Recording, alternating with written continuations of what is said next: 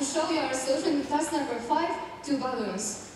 It is known that air in two partially inflated balloons will flow in different directions depending on initial balloon's volumes. We have to investigate this phenomenon. Let's first take a look on these two videos. The initial volumes seem to be quite similar. However, in the first case, the smaller balloon is pumping the bigger one, and in the second one, the two balloons are becoming equal. So, it is of note that the airflow, uh, air will flow from the higher pressure to the smaller pressure, and therefore the pressure inside the balloon will be a, a key parameter in our system. When I try to pump a balloon, firstly, it is very hard. Then, it is becoming easier. The balloon is becoming bigger and bigger. When it's very large, the surface is very stiff, and it's hard to pump it again. We describe the pressure inside the balloon uh, depending on their sizes, assuming that the balloon is spherical and also that the pressure inside depends only on volume. And it turned out that in small balloons, the pressure will be high because the pressure decreases with radius squarely and additionally in big balloons we obtain high pressure because the pressure will be proportional to the stiffness of the surface. What is obvious, what will happen if we don't have the equal pressures in the system. However, this condition do not describe what, will happen if we have the same pressures in the balloons. The point is that with small deviations in pressure, the system have to come back to its equilibrium. So it turned out that in case of two small balloons, when we deflate only one of them, it will generate a much higher pressure and will pump the other balloon.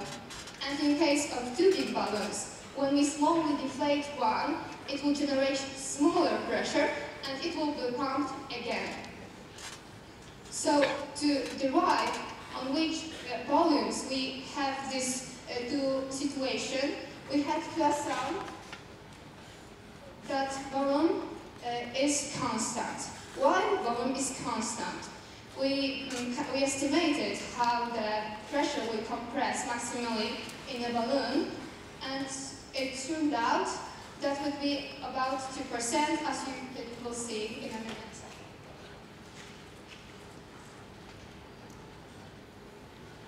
Okay, so, okay, so you can, okay. So the next step in our research be determining the stiffness of the rubber. To think about the physics of it, we have to look at the molecular structure of the rubber. Rubber is built of chains of polymers connected in nodes. Between these nodes, single molecules can oscillate freely without interaction with other molecules. And they oscillate with temperature. These oscillations cause the movement of one molecular's end. In case of unexpected state of rubber, the movement of these, uh, all these molecules do not uh, affect the movement of net because they are random. However, if we expand the rubber in one direction, it will be more probable for the molecule to come back to its equilibrium rather than to go further. And because of that, the certain force occur. To somehow calculate this force, we have to use a, personal thermodynamics for the rubber. We assume that because there's no interaction between molecules, the internal energy depends only on temperature. And the, the internal energy, uh, the change of it, will, will equal the heat delivered uh, to, the, uh, to rubber. We assume that the process is reversible, the volume work, and also the work connected with stretching the rubber. However, we know that for many works, for, for instance from the Treloar's work, that the volume do not, constant, uh, do not change greatly with elongation. And because of that, we erase the volume part.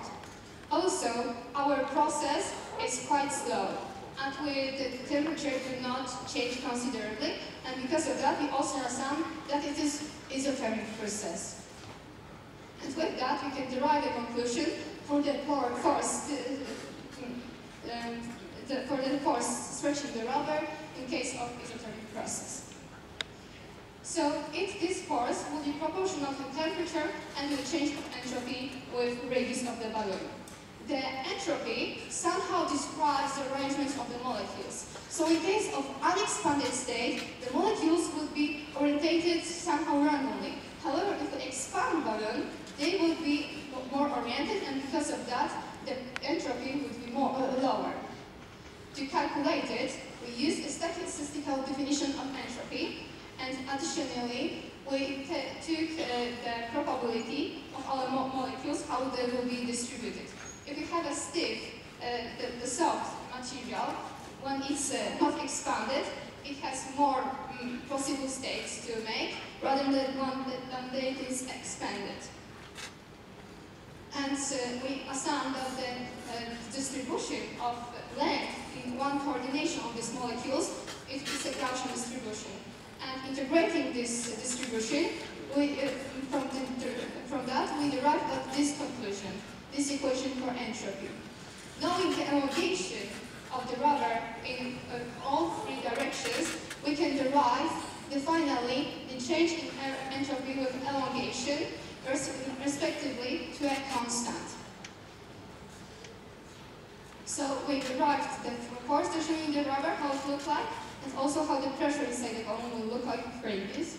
And from that, we can finally derive the equation for the pressure inside, inside the balloon, changing with the elongation of the radius. However, we can see clearly here that there is a decreasing in pressure, which is inconsistent with our preliminary observations. So to check it, we derive, uh, we come up with an experiment. We take an, air balloon, we attach it to a manometer, the water manometer, and looking at the differences of height in pool of water, we looked what's the pressure inside the balloon. We come found a compressor. We met with some obstacle during this experiment. Because the pool of water has certain inertia, we, uh, we, have, we had such sinusoidal um, uh, line. And however, we know that the pool of water is a harmonic oscillation, oscillating with damping. And subtracting the movement of pole of water to this equation, we can derive the pressure inside the balloon. And also, we needed uh, the, the, the, the, to know how the volume is changing each time. And so to do that, we looked through the camera to, for our, to our balloon, we fitted a super uh, ellipsoid to it, and then, uh, assuming that the balloon is spheroid, we derive the volume. So here you can see the raw data, the experimental data after subtracting the initial flow of water, and our fitted theory, and it is a certain inconsistency in the, the last part. It is because in a long extension, our assumptions do not hold well because the certain stiffness occur in the rubber. I will introduce you two sources of this stiffness. Because in a high entanglement, the molecules more in interact with each other more, there is uh, the, the force is generated is higher. For instance, if the um, molecules are elongated, in case of unexpanded case, do not, do not have much influence. However, if we expand our molecules, the certain stiffness occur due to this fact. Additionally, in unexpanded state, rubber is quite isotropic. When you extend it, the crystallization occurs, which additionally causes a stiffness. So, to have an analytical solution with this correction, taken the polynomial correction from the work of Jan Lewin to rubber balloons. And you can see clearly that with this correction, the pressure is increasing. We fitted the theory to the several balloons and fitted pretty well. So we made uh, five experiments with the same type of balloon, and here you have, can see this uh, pink uh, area. It's a standard deviation of these measurements. And from, from these measurements, we could uh, derive the coefficients which would describe our rubber. And with these coefficients, knowing how exactly the, the, was how the pressure changes the volume, we can finally derive the diagram, what will be the flow, direction of the flow into the balloons, eh, eh, depending on the initial ohms. So because of the symmetry of the problem, because we have two the same balloons, I will talk only about the it. The lines symbolize the, the fields when the pressure inside the balloons are equal. However, the red lines when the state is stable and the blue when it's unstable. So if that means that if, in the red field, the small balloon will pump the bigger one, and in the green, green field, the big balloon will pump the smaller. We conducted another experiment to check whether our theory predicts it well. We attached the second balloon to our system. We made a photo of the balloons, then we released the air, and we made a second photo. However, we have to keep in mind that the different uh, balloons are not the same. I mean, if we are using one balloon several at a time, it's wearing out, and because of that, we'll, for each experiment, we will take a new balloon. So here you can see a 72 experiments for each pair of two balloons was taken. And you can, the red uh, points symbolize the, the, the, the flow from smaller to bigger balloon, and the, in the reverse in the case of uh, blue, uh, green. So to sum up, described the qualitatively why the pressure is making small and big balloon. We, we uh, explained the forces occurrence by molecular structure of the rubber. We derived the, the pressure equation. We changed experimentally, and we finally derived a graph which answers the question. Okay, thank you. You have to stop. Thank you very much.